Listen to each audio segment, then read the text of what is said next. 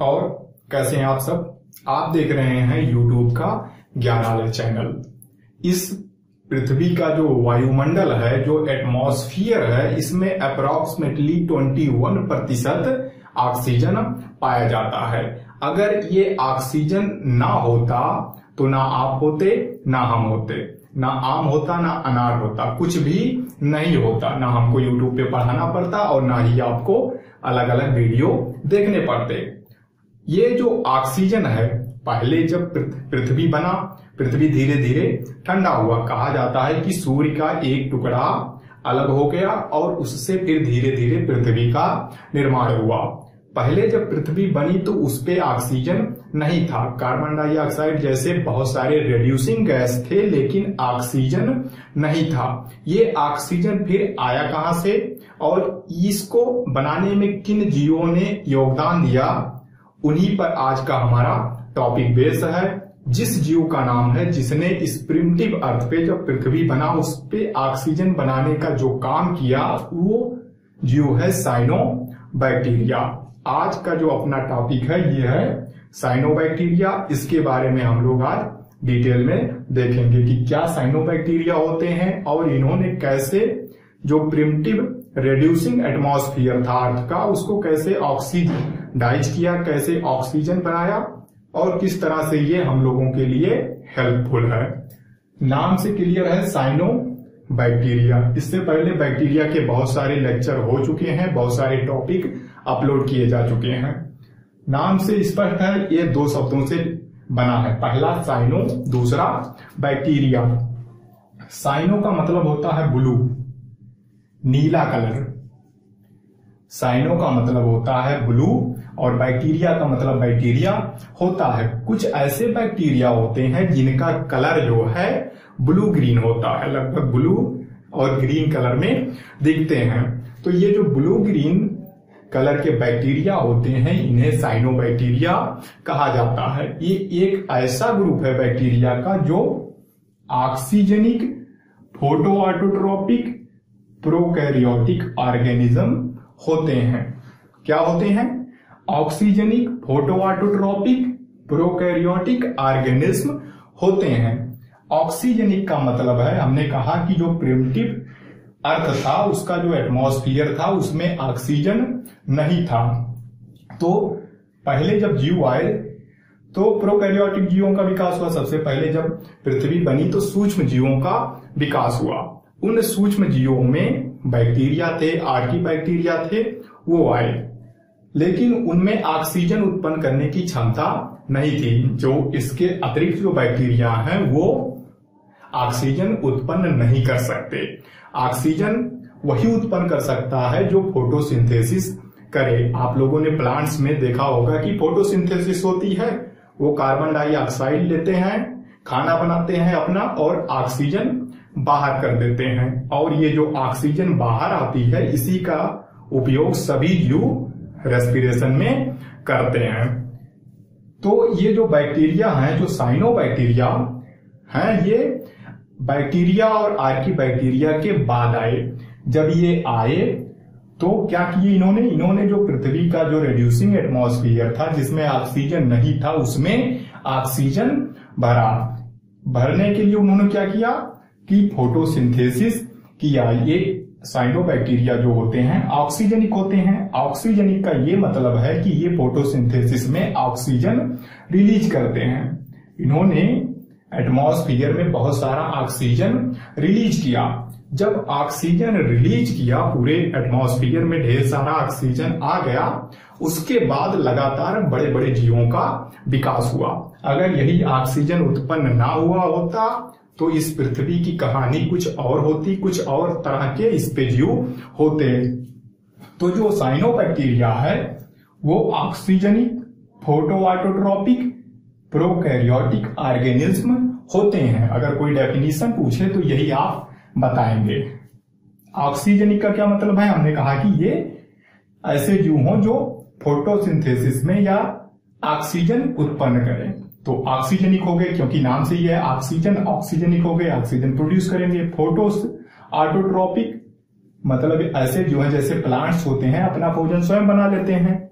Photosynthesis करते हैं, सूर्य की लाइट लिए कार्बन डाइऑक्साइड लिए, जल लिए, और अपने के लिए ग्लूकोज और कार्बोहाइड्रेट बना लिए। इसी तरह जो साइनोबैक्टीरिया होते हैं, ये भी फ़ोटो ऑटोट्रॉपिक होते हैं। ये भी लाइट की मदद से अपना भोजन स्वयं बना लेते हैं।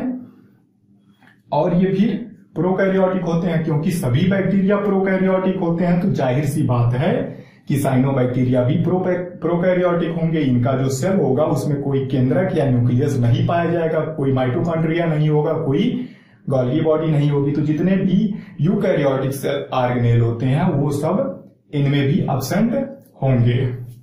एक फैक्ट है कि जो साइनोबैक्टीरिया हैं, इनको जो है ब्लू ग्रीन एलगी भी कहा जाता है। यानी cyanobacteria are also called BGA BGA मतलब ब्लू ग्रीन एलगी इनको ब्लू ग्रीन एलगी भी कहा जाता है। ब्लू ग्रीन क्यों कहा जाता है? क्योंकि इनका जो कलर होता है, वो ब्लू ग्रीन कलर का होता है। कुछ पिगमेंट्स इनमें पाए जाते हैं, जिसकी वजह से ये ब्लू ग्रीन कलर के दिखते हैं। जैसे प्लांट्स होते हैं, उनमें क्लोरोफिल पाया जाता है, जिसकी वजह से उनकी पत्तियाँ और उनका कलर जो होता है, वो ग्रीन कलर का होता है। उसी प्रकार साइनोबैक्टीरिया में कुछ पिगमेंट्स होते हैं, जिसकी वजह से ये ब्लू ग्रीन कलर के दिखते हैं। तो जब शुरू में जो है साइनोबैक्टीरिया को ब्लू ग्रीन एल्गी कहा जाता था। और जो बॉटनिस्ट हैं, जो वनस्पति शास्त्री हैं, वो साइनोबैक्टीरिया को बैक्टीरिया नहीं मानते हैं, बल्कि इनको एक एलगी मानते हैं और फिर इनको प्लांट के रूप में ट्रीट करते हैं। पहले जब शुरू शुरू में इनकी पढ़ाई हो रही थी साइनोबैक्टीरिया की तो शुरू में इनको एलगी में रखा गया था। जितने भी बॉटनिस्ट थे, जितने भी ये वनस्पति शास्त्री थे, उन्होंने इसको ब्लूग्रीन कहा और फिर एलगी वाले समूह में जोड़ दिया था।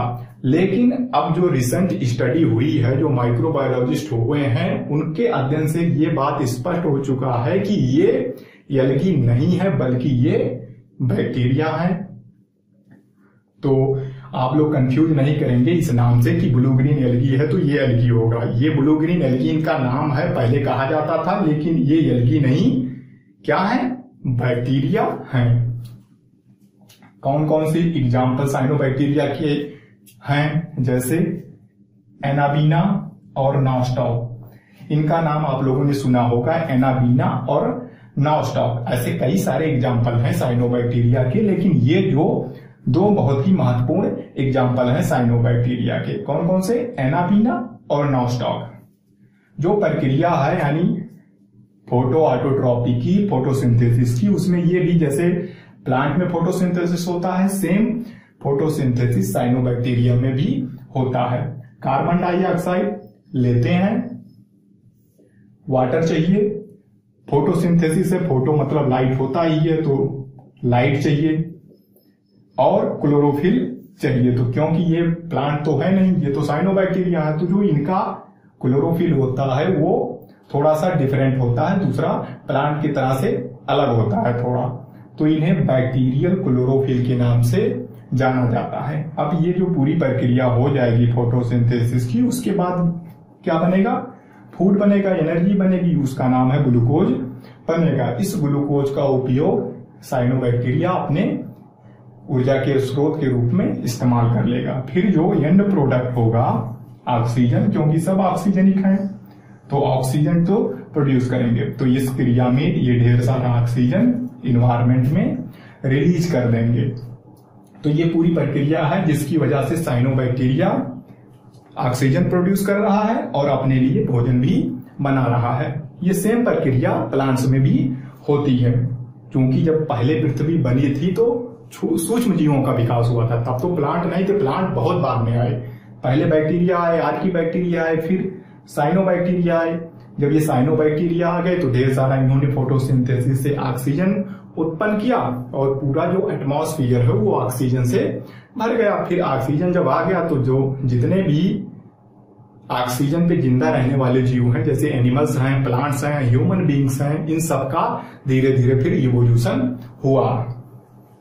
तो ये इतना हो गया बेसिक जानकारी हो गया साइनोबैक्टीरिया के बारे में। अब देखते हैं कि साइनोबैक्टीरिया का जो शरीर होता है, जो संरचना होती है, वो कैसा होता है। तो यहाँ पे हमने दोनों, दो एग्ज़ाम्पल दिए हैं एनाबीना और नॉस्टॉप तो देख लेते हैं कि ये कैसे दिखते हैं। ये है नॉस्टॉप ये जो डायग्राम बना है, ये नॉस्टॉप का बना है। ये कुछ फिलामेंट की तरह देखते हैं, कुछ फिलामेंट की तरह दिखते हैं। कई सारे सेल एक दूसरे से मिलके कॉलोनी के रूप में एक फिलामेंट की तरह दिखते हैं। ये जो रेड कलर का बना हुआ है, ये हेट्रोसिस्ट है। क्या है ये? हेट्रोसिस्ट हैं। हेट्रोसिस्ट जो होते हैं, ये विशेष प्रकार की कोशिका होते हैं जो नाइट्रोजन फिक्सेशन में सहायता करते हैं। क्या करते हैं? नाइट्रोजन फिक्सेशन करते हैं। हेट्रोसिस्ट जो होते हैं ये स्पेशल टाइप के सेल होते हैं जिनमें नाइट्रोजन फिक्सेशन की क्षमता पाई जाती है। इसमें एक एंजाइम होता है हेट्रोसिस्ट में, जिसका नाम है नाइट्रोजिनेज और उस नाइट्रोजिनेज की हेल्प से ये जो सेल है हेट्रोसिस्ट इन्वायरमेंट में जो नाइट्रोजन है, उसको सॉयल में फिक्स कर देता है और इस नाइट्रोजन को जो है, फिर प्लांट जो है, अपने बॉडी में, उसको जो है, अपने उपयोग में लाल लाता है।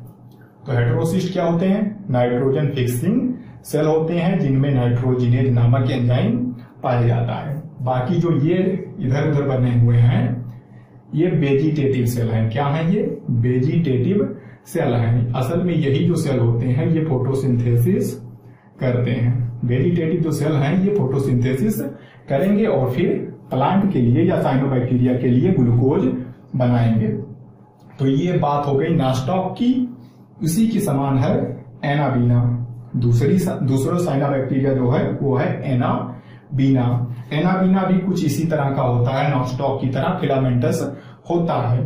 लेकिन इसमें एक स्पेशल संरचना पाई जाती है एकाइनीट ये जो बीच में बड़ा सा जो सेल बना है, ये है एकाइनीट असल में ये जो एकाइनीट होते हैं, ये थिकवाल्ड रेजिस्टेंट स्पोर लाइक संरचना होते हैं।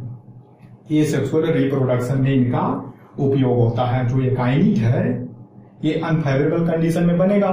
मान लिया कंडीशन जो है एनाबीना के अनुकूल नहीं है तो क्या बना लेगा? हेट्रोसिस्ट बना लेगा। ये हेड्रोसिस्ट जब कभी फेवरेबल कंडीशन आएगी तो उससे जो है एक नया पौधा बन जाएगा। तो जो एकाइनिट होते हैं, वो ए सेक्सुअल रिप्रोडक्शन में काम आते हैं। इसमें भी दोनों तरफ़ हेट्रोसिस्ट होते हैं, जो एकाइनिट होता है, उसके दोनों तरफ़ हेड्रोसिस्ट पाए जाते हैं। जो रेड वाले हैं, ये क्या है? हेट्रोसिस्ट हैं। हेट्रोसिस्ट चाहे जहाँ भी हो, चाहे एनाबीना में हो, चाहे नॉस्टॉक में हो, उसका काम है नाइट्रोजन फिक्सेशन काम। तो यहाँ भी हेड्रोसिस्ट नाइट्रोजन फिक्सेशन करेगा। नाइट्रोजन फिक्सेशन समझ गए ना कि क्या मतलब होता है नाइट्रोजन फिक्सेशन का? आप लोग जानते हैं ना जो एटमॉस्फियर है, जो ये वायुमंडल है, इसमें लगभग अठहत्तर प्रतिशत नाइट्रोजन पाया जाता है। इस नाइट्रोजन को प्लांट डायरेक्टली यूज़ नहीं कर पाता है। तो इस नाइट्रोजन को जो फ्री नाइट्रोजन इन्वायरमेंट में है, उसको फिक्स करना, यानी सॉइल में लाके फिक्स करना, क्या कहलाएगा? नाइट्रोजन फिक्सेशन कहलाएगा। इन दोनों ही जीवो में, यानी नॉस्टॉक में और एनाबीना में ये काम हेट्रोसिस्ट द्वारा किया जाता है इन हेड्रोसिस्ट में नाइट्रोजिनेज नामक एंजाइम पाया जाता है। यही इसी वजह से नाइट्रोजन फिक्सेशन होता है। तो ये दोनों जो है डायग्राम नॉस्टॉक के और एनाबीना की, ये क्या है? साइनोबैक्टीरिया है। तो ये ऐसे ही और सारे साइनोबैक्टीरिया होते हैं जो ऐसे दिखते हैं। अब यहाँ तक आप लोगों ने क्लियर हो गया होगा, हो गया होगा कि क्या साइनोबैक्टीरिया होते हैं। और उनकी बॉडी या उनकी संरचना कैसे होती है। अब इनका इकोनॉमिक एस्पेक्ट देख लेते हैं कि क्या इनसे फ़ायदा होता है। सबसे बड़ा फ़ायदा तो यही था कि इन्होंने ऑक्सीजन बनाया और फिर उसी ऑक्सीजन से हायर जीवों का जो प्लांट्स एनिमल हैं, उनका इवोल्यूशन हुआ है। इसके अलावा क्या इनका उपयोग हो सकता है? इंडस्ट्री में इकोनॉमिक यूजेज इनका क्या है? मनुष्य इनको कैसे यूज़ कर सकता है? तो कुछ तरीके से इनको यूज़ किया जाता है। पहला तो यही है यस सी पी के रूप में, यस सी पी यस का मतलब हो गया सिंगल सी का मतलब हो गया सेल सिंगल सेल पी से हो गया प्रोटीन यस सी पी क्या हो गया भाई? यस सी पी संक्षिप्त में सिंगल सेल प्रोटीन को यस सी पी कहते हैं। S C P single cell protein असल में ये जो सेल होते हैं साइनोबैक्टीरिया का जो कोशिका होती है, उसमें काफ़ी प्रोटीन पाया जाता है। तो ढेर सारी मात्रा में जो है साइनोबैक्टीरिया को ग्रोथ करा लिया जाता है लैब में और फिर उनको सुखा के पाउडर बना के छोटे छोटे कैप्सूल बना लेते हैं। फिर इनका उपयोग फ़ूड सप्लीमेंट या प्रोटीन सप्लीमेंट के रूप में इस्तेमाल किया जाता है। इसी को कहा जाता है सिंगल सेल प्रोटीन संक्षिप्त में यस सी पी कहते हैं। तो ये एक ये इकोनॉमिक इंपॉर्टेंट हो गया। दूसरा है बायो फर्टिलाइजर्स के रूप में। नाइट्रोजन फिक्सेशन कर रहे हैं। नाइट्रोजन फिक्सेशन ये भी कर रहे हैं। अब इनको अगर खेत में डाल दिया जाए तो क्या करेंगे? ये नाइट्रोजन को फिक्स करेंगे। और इस नाइट्रोजन का उपयोग जो क्राफ्ट होंगे, जो फ़सलें होंगी, उसको उपयोग कर लेंगे। तो प्लांट क्या मिल जाएगा? नाइट्रोजन मिल जाएगा। जो किसान होते हैं वो अपने खेत में यूरिया जैसे खाद डालते हैं कि उन्हें प्लांट को नाइट्रोजन मिल जाए और फिर उनकी अच्छी ग्रोथ हो।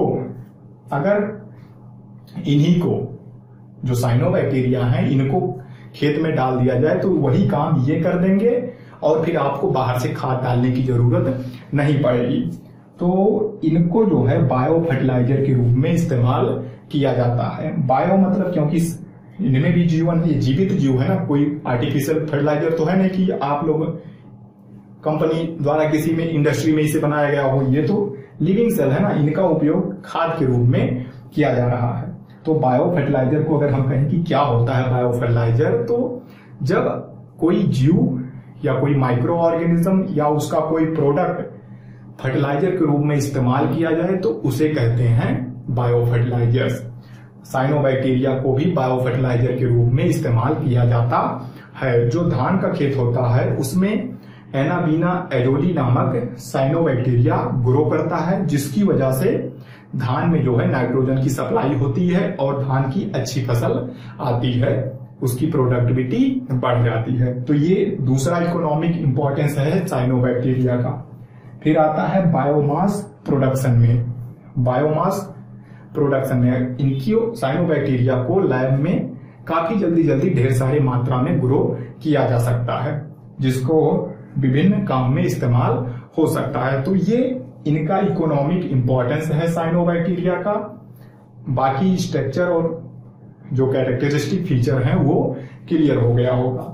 तो आप लोग वीडियो रोक के पूरा लिख लें डायग्राम बना लें और अब मुझे नहीं लगता कि साइनोबैक्टीरिया में और कुछ छूट रहा है। तो आज के लिए इतना। काफ़ी है। देखते रहिए ज्ञान ज्ञानालय।